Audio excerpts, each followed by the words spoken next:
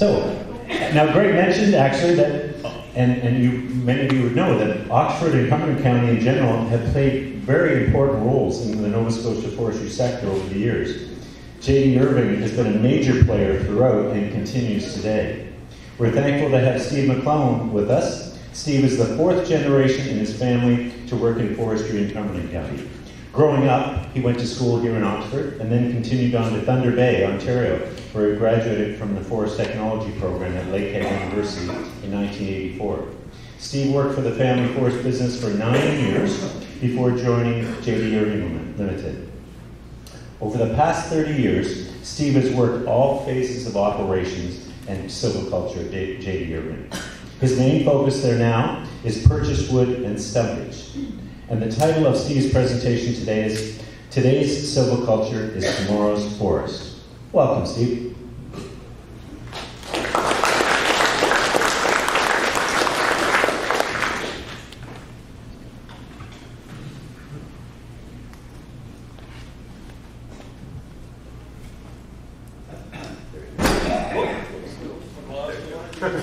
Same way, yeah. Good afternoon, everyone. I, uh, I'm not very techy today. I don't have uh, many overhead, so you're going to get to watch this change as I talk. You'll have to listen to me.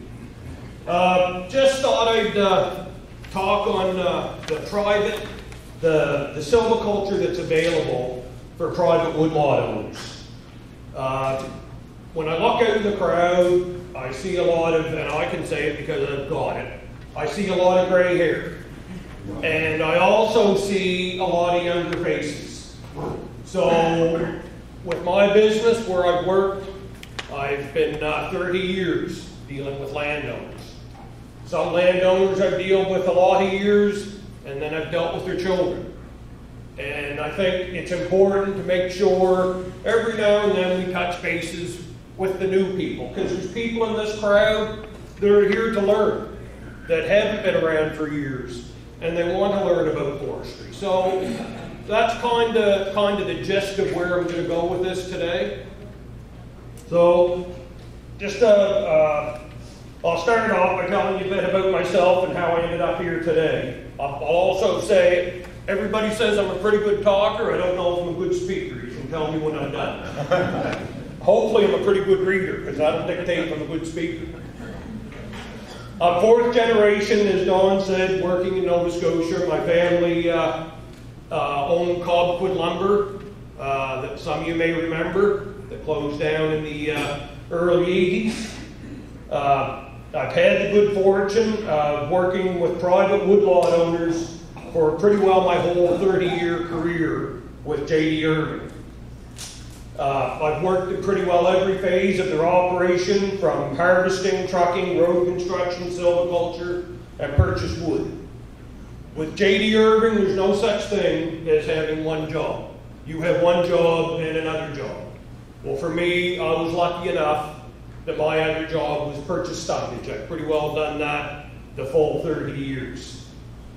Uh, as a stumpage buyer, that's given me the opportunity to literally walk hundreds of woodlots and meet with landowners and help advise them of the value and potential of their woodlot. And many landowners have different visions, but most landowners are interested in the long term of their woodlot, the viability, whether it's passed down to their children, their grandchildren, or just to have a good, healthy woodlot. And to do that, the main key is silviculture. So I know what I what silviculture is, probably most of you do, but I said, well, I'm going to look it up and see what they say silviculture is today. What they say today isn't exactly what it was when I went to university in 1982. The definition I got today is the art and science of manipulating forest vegetation, vegetation to enhance growth and establish new forest stands and wildlife. And well, it's a little different, but it still fits. Uh, in my opinion, every woodlot has potential to improve, some more than others, but as a landowner, you can only work with what you've got. Determining the best treatment or treatments should be done with the help or advice from a forestry professional. There are lots of professionals out there that can offer you advice. My favorite is a professional from a local sawmill, perhaps J.D. Irving.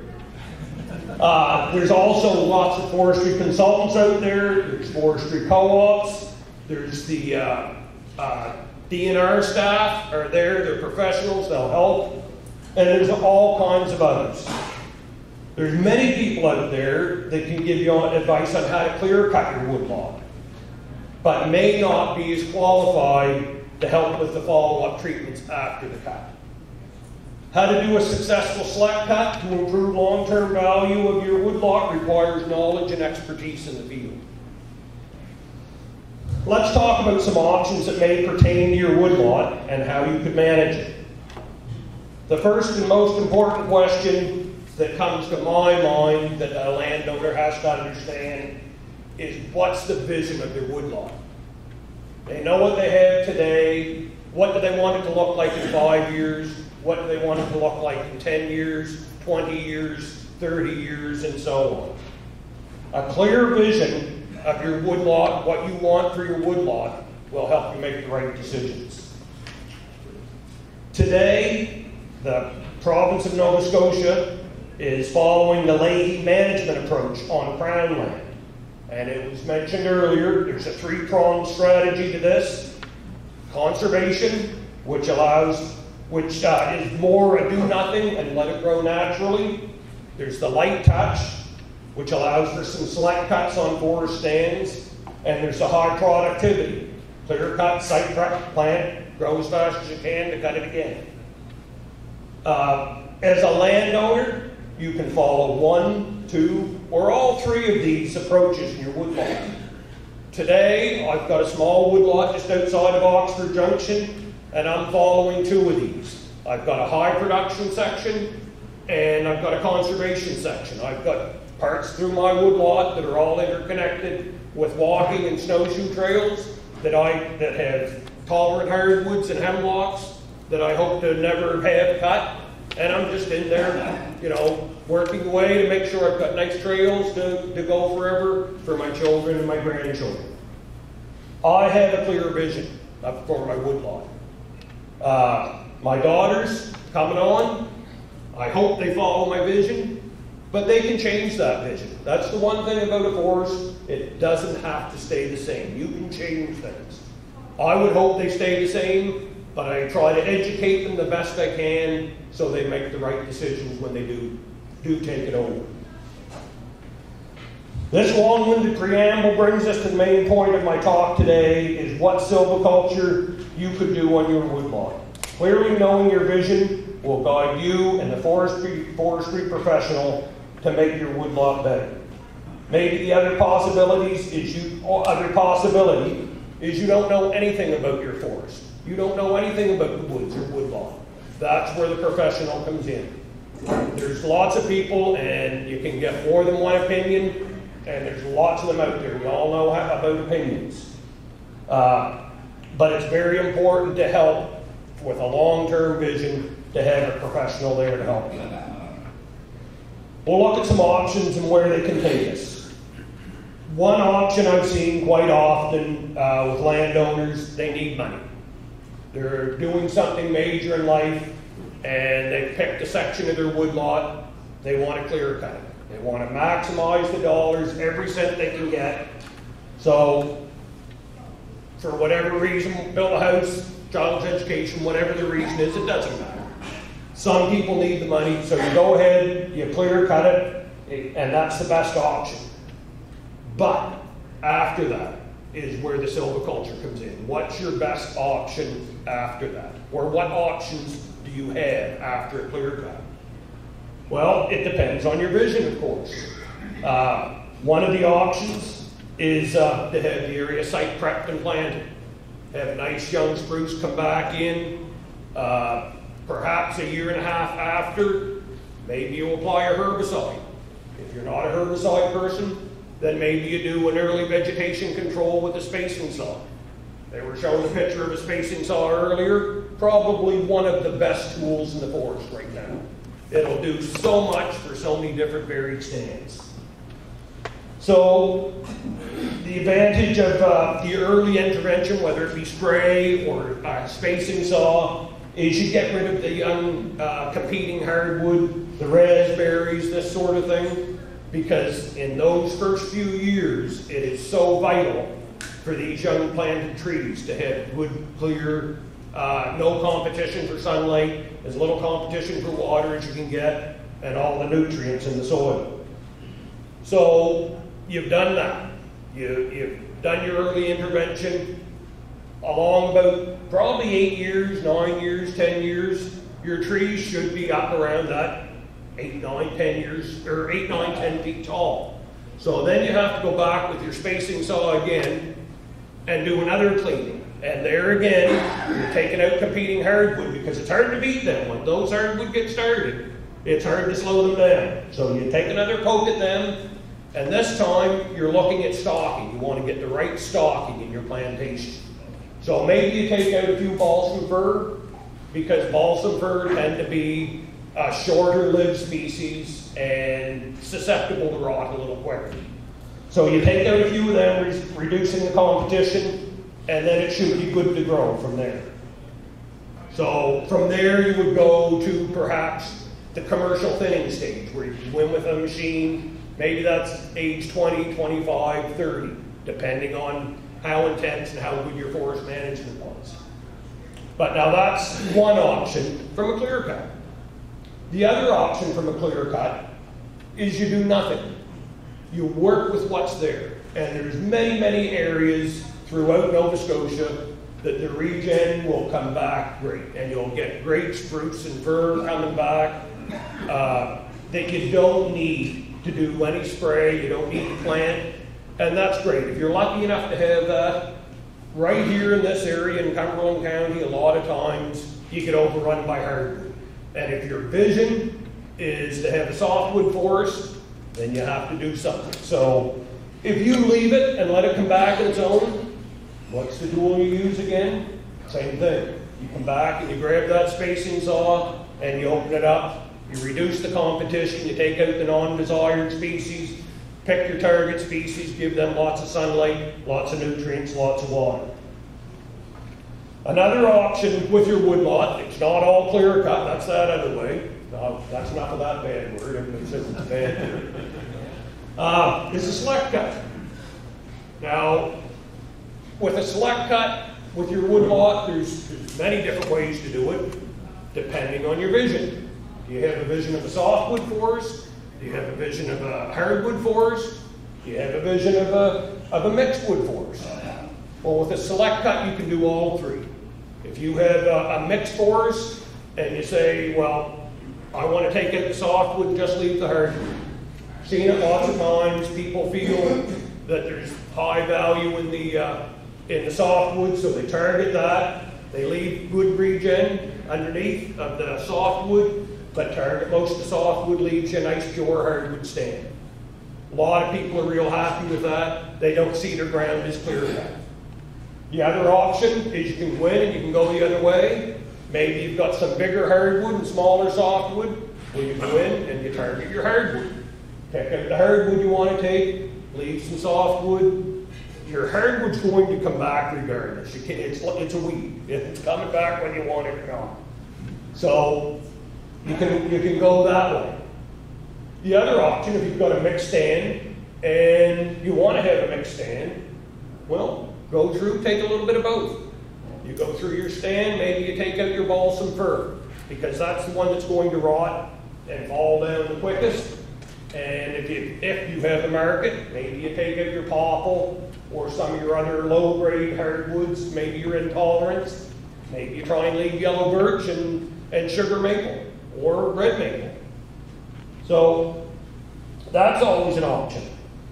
Uh, the other one is maybe you've got a woodlot that was uh, 25, 30, 35 years ago, maybe it was planted.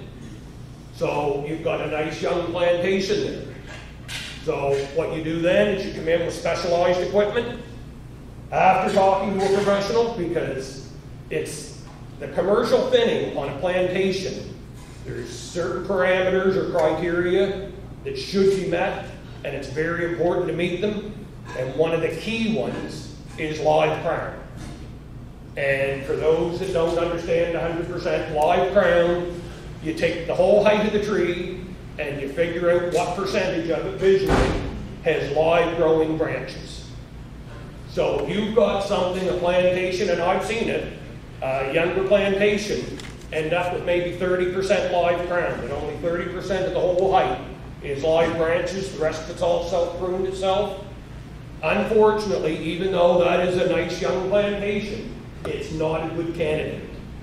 Because those live branches are what make that tree grow. Those live branches are the, are the manufacturing of the photosynthesis and everything in the tree that make it grow. And there's so little left that you're not going to get much response from doing your thing. You can do your thing, but it won't grow as quickly. If you've got uh, 50% live crown, then that tree's just going to smoke. You open it up, take out uh, 30, 40% of the other trees, and you leave that, that tree's really going to grow. The other thing you have to really consider, you can plant trees most anywhere. You can plant trees on a very rocky soil, and they'll grow.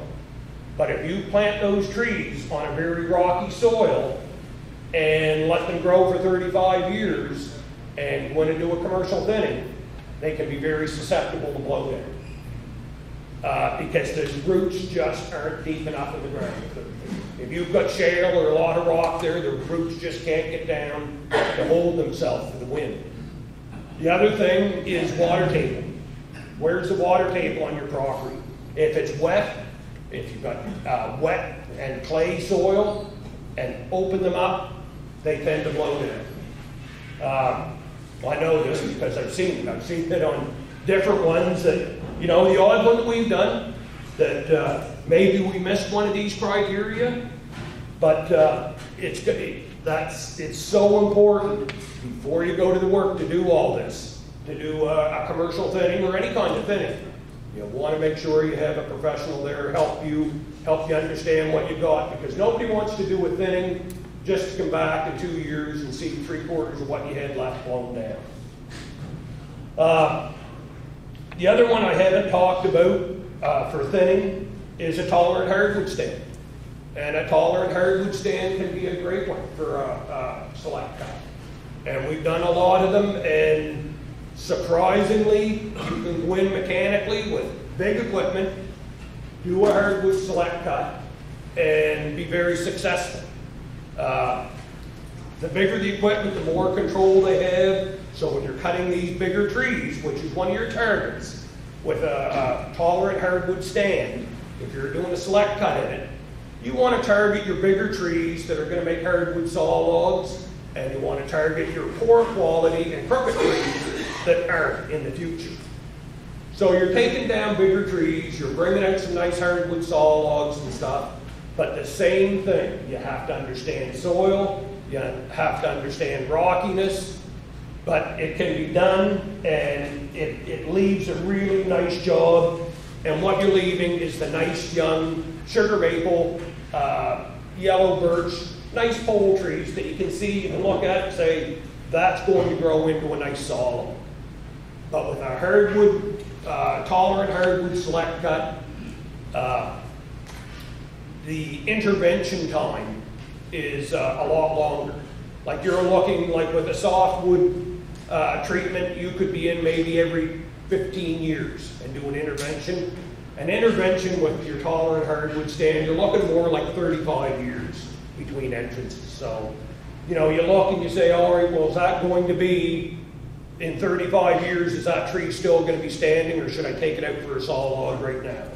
Or in 35 years, is that tree right there, does it look like it could grow into a nice high-grade piece of wood? So these are the things you have to look at. These are the things, when you're walking through your wood lot, you've got a picture.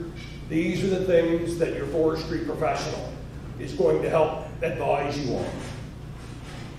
Uh, let me see here. I might have got ahead of myself a little bit. Uh, and like I say, the forestry pro- professional is key. Because some of these things, like I talk about going in and you look at your live crown.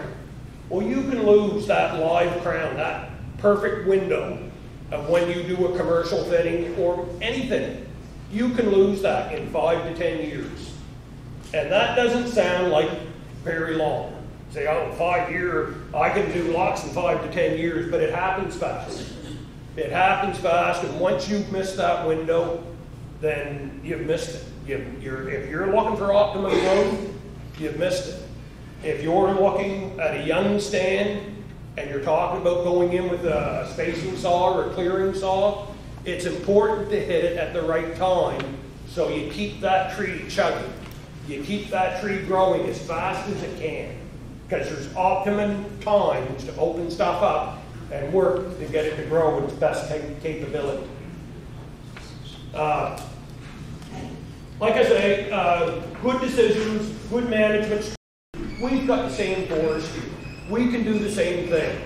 You go in, if, if that's what your uh, goal is, to be an active landowner looking to take some revenue off the land, it can be done. Spread it out. You can have a nice red spruce and yellow uh, birch forest, the Acadian forest. You can have that and still take trees out and grow more underneath.